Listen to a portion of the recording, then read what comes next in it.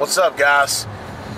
Uh, we're gonna shoot a video today. I don't know if it'll be a very long video, but it's something a little different. Um, my best friend, I mean, me and this guy, I mean, we're like brothers. Uh, we've been friends since I don't know fifth grade, I think.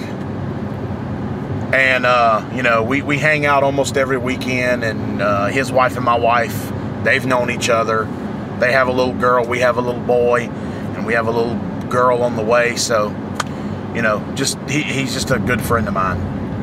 I just bought a really nice house. It's a two-story house, and uh, they got a really good deal on it.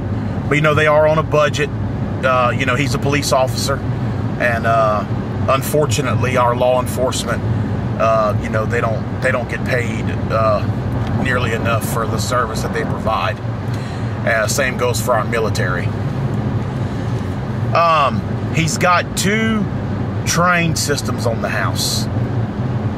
Uh, the air handlers are from 2005. They're identical. They were put in at the same time. Some TWEs, two and a half ton, two and a half tons upstairs, two and a half tons downstairs. Um, and then he has a 2007 Trane XR13 R22 condenser that serves the downstairs, which it's working fine. I serviced it out for him. We also had to move it over. You can't really call it a relocation. We just literally moved it because he's got two condensers and they were sitting like literally this close together. So we moved the XR13 over then he has a uh, Trane from 2001. It's not an XB. It's you'll see it when we get there. Uh, and it's dead. The compressor's dead in it. So the, they have no cooling upstairs. And like I said, he's on a budget. So if you, uh, I didn't do a I didn't do a video, but uh, I posted some pictures on Facebook and on Google Plus, I believe. And uh, if you follow me on Twitter, I posted them on Twitter of uh, two three ton heat pump Tempstars that we did. Well, we took out two two and a halves. He was a little shy. Uh, we went from five tons to six tons of air.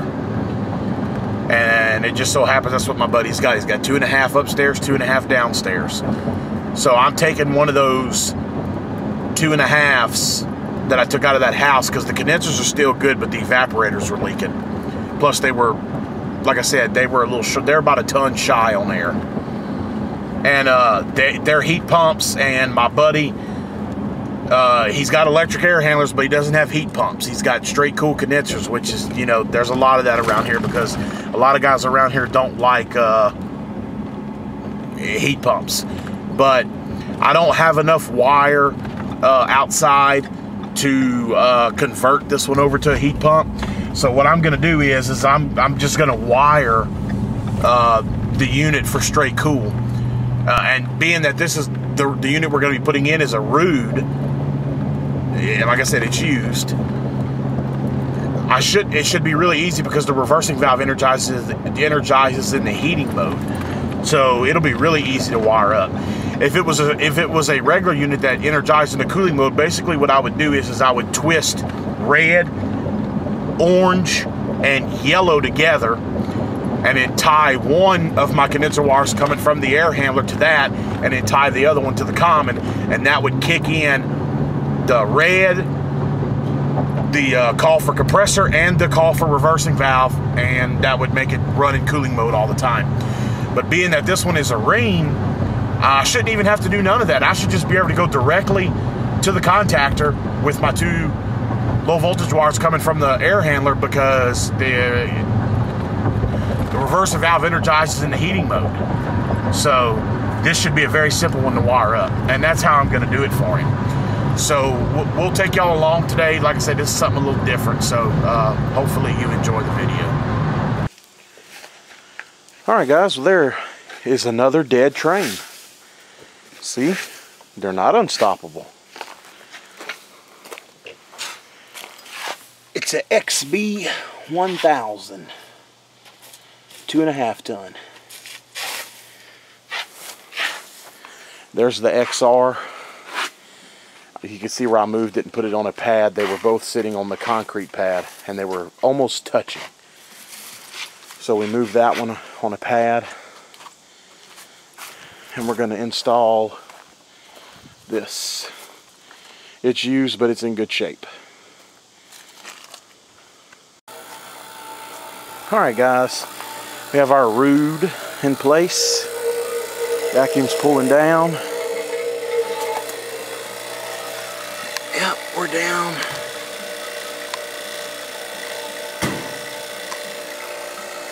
Down in the 600s already. That's a good sign. So we'll uh, let the vacuum pull down and we got to hook up the high voltage and hook up the low voltage. Probably going to go ahead and change this contactor out for him and then I'm just gonna eliminate the defrost board. I'm gonna take the red wire coming from the field connection and go to one side of the contactor and then take the yellow wire from the field connection off the defrost board and go to the other side of the contactor. Because Ruud and Rheem energized in a heating mode and we're using this as a straight cool. So that'll kick the contactor in, automatically kick it into cooling mode. I'm to take the condenser fan motor off of the defrost board, obviously, and hook it straight to the contactor because we do not need the defrost board to break the fan motor because this unit will not be defrosting because it will not run in the heat mode. So we're to start wiring things up while the vacuum pulls down.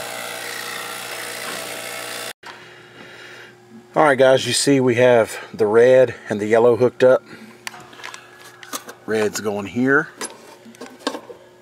Yellow is right here. right there. That should pull the contactor in and that should put us into cooling mode. Since Rheem and Ruud energized in the heating mode, it should not affect anything. But we are fixing to find out. Alright, we got the smart tool hooked up. I had to put I had to put some uh, gas in it before starting it because it, the pressure was real low. We're going to pop the disconnect in and see how she does. All right, guys, well, she's running.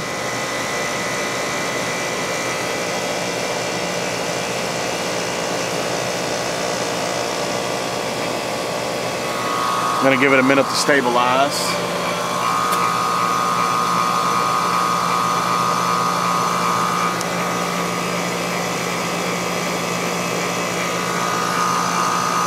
All right, well, let's uh, let it sit here for a minute and run, and then we'll get back to y'all. Guys, things are starting to settle in. It's 90 degrees upstairs, and that's what this unit is controlling upstairs. Tyler is on his way up there to get us a wet bulb reading. And uh, I know the superheat, it's gonna it's gonna require a high superheat because it's it's 90 degrees upstairs and it's like it's pretty close. Today's been a cooler day in Louisiana than normal. And I know y'all are going to laugh when I say this, but it's, it's probably about 98, 99 degrees because we've been hitting 105 almost every day. So we're going to require a high superheat.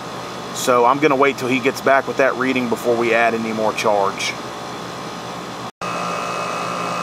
All right, guys, the target superheat was 29. I knew it was going to be a target, uh, a high target. We're down to 26. I believe that's where I'm going to leave it. This one is performing much better. Seems to be cooling well. Because this one was doing 100 pounds of suction and the superheat would stay in the high 30s, low 40s. It just wasn't pumping. And this, these pressures look a lot better than what that Trane looked. So we got him some cooling in a pinch. It's a used unit, but it's running good. Um, and that'll last them until they decide they want to upgrade the upstairs system because the uh, downstairs system is in very good shape. All right, guys, that'll do it for this one. Thanks for watching, and we'll see y'all on the next one.